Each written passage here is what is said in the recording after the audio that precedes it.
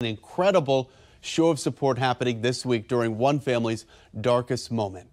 This right here is Bruna Valeanu, a 24-year-old college student from Brazil studying at Tel Aviv University.